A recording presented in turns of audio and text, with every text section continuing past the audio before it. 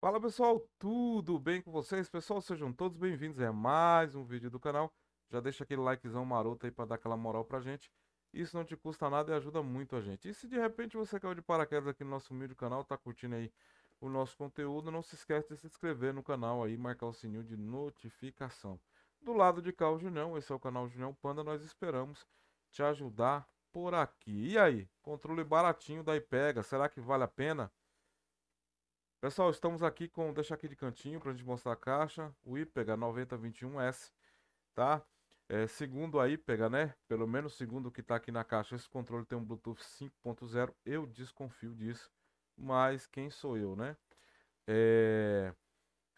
Diz também que ele funciona no Android, no iOS, tablets, Smart TV, P3, eu acho que aqui eu, né, faz menção ao PS3, é, Nintendo Switch e Windows PC, tá? Então funciona em tudo essas coisas aí, mas a gente vai fazer o teste hoje no celular, né? Vale lembrar que existe uma versão desse controle bem antiga, tá? Esse controle aí, me atrevo a dizer que é um dos primeiros controles aí da IPEGA, né? Foi por aqui que surgiu aí a IPEGA. Só que lá atrás esse controle era o 9021, apenas 9021.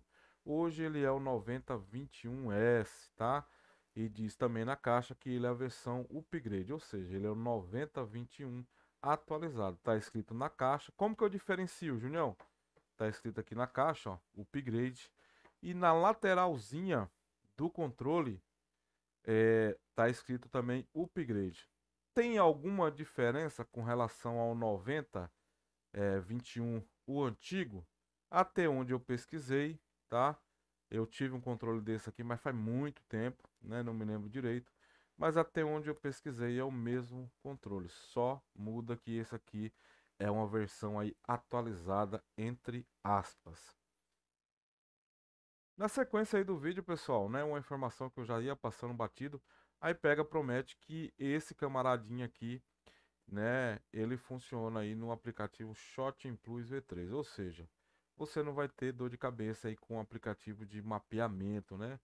Você não vai precisar se preocupar com ativação, né? O Shot Plus V3 é um aplicativo gratuito, tá lá na Play Store, né? É só baixar instalar e usar.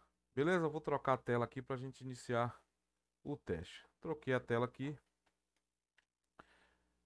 Ele tem um botãozinho aqui, ó, a imagem está pequena da câmera, mas ele tem um botãozinho aqui, ó, onde você liga o controle. Só depois que você liga ele, é, você vou abrir aqui o V3, né, para ficar mais mais fácil. E aqui nós vamos descobrir se ele funciona realmente ou não. Ele está falando que não tem nenhum controle conectado.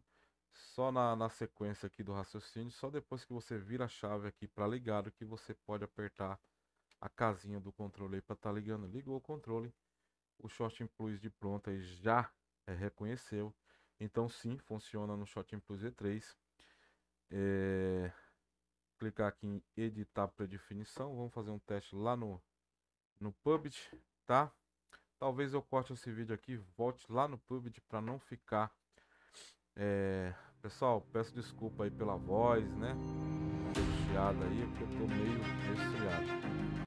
Então, talvez para não ficar um vídeo muito longo, eu corte esse vídeo. Ok, vamos para área de treinamento.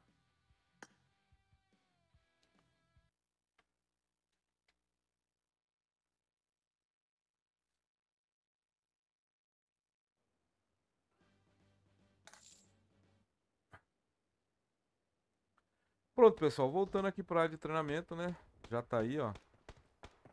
É, o controle realmente funciona, tá? Tá aí, ó, funciona normal. Vou pegar uma armazinha pra gente fazer um teste. Só que não, não finaliza o vídeo agora não, não sai correndo pra comprar o controle não. Tá, Junior, quanto você pagou no controle? Esse controle saiu por 115 reais. Vale a pena? Não, não vale a pena. Tá, eu não recomendo esse controle aqui. Não recomendo porque ele tem uma dead zone aqui, ó. Ó, perceba que é, ele tem uma dead zone aqui absurda, ou seja, ó, ó, pra cima, tipo assim, a resposta dele é muito lenta, eu já fiz configurações, bastante configurações, sensibilidade e não resolve o problema, tá? Então assim, ele funciona no Shot in Play, no, no Shot Plus, funciona. Você vai ter dor de cabeça com o aplicativo é, de mapeamento? Não.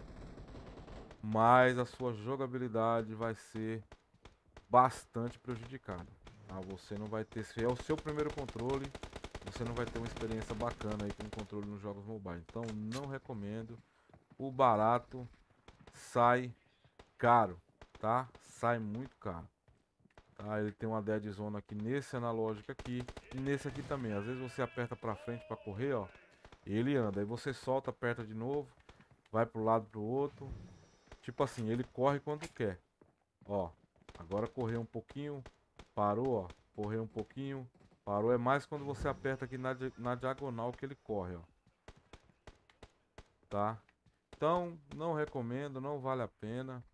Não invista a sua grana é, nesse controle aí e a sua decepção vai estar garantida. Pessoal, mais um videozinho informativo aí. Eu espero que eu tenha ajudado alguém de alguma forma aí. É... Forte abraço a todos, fiquem todos com Deus. A gente se encontra aí com certeza no próximo vídeo. Eu fui.